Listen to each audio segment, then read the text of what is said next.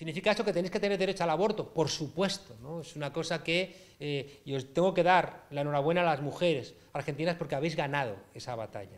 La habéis ganado, ¿no? No os quepa la menor duda, ¿eh? Mirad,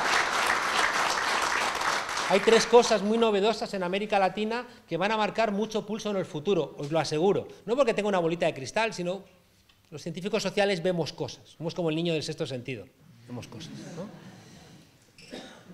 López Obrador ha ganado en México. Y eso es un punto de inflexión brutal, porque México es un continente, frontera con Estados Unidos. Gustavo Petro, con un país tomado por narcotráfico, narcotraficantes y paramilitares, ha sacado más del 40% en Colombia.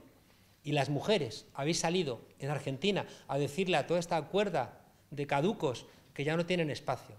Y me recordó a una cosa que escribieron en España cuando el 15M, el movimiento de los indignados, que dijo el roto, los jóvenes salieron a la calle y súbitamente todos los partidos envejecieron. Pues estad orgullosas porque las mujeres habéis salido a la calle y súbitamente todos los partidos de Argentina han envejecido. Enhorabuena.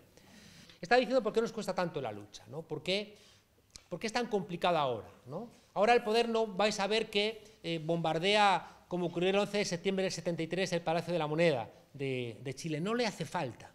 No le hace falta hacer eso. Y no vais a ver a la, a, la, Wehrmacht alemana romper la frontera con Polonia porque ya no le hace falta. Han puesto de rodillas a Grecia sin disparar un solo tiro. No, no, no hace falta ya ese tipo de cuestiones. Y el problema es que cuando, cuando vienen los fascistas vestidos de Armani, no los vemos.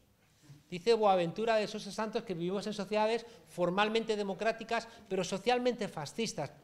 Y cuando él utiliza la expresión socialmente fascista, no es para que pensemos en los años 30, en gente con correajes, no. Es que no hace falta. Es que, eh, fijaos que en Grecia ha descendido brutalmente la esperanza de vida. Entonces, cuando desciende la esperanza de vida, eso significa que cuando determinada gente cumple 65, 67 años, es como si lo fusilaras. Pero no lo tienes que fusilar porque parece que se han muerto por causas naturales. No, no necesitas, ya digo, hacer un acto de violencia porque los estás matando de otra, de otra manera.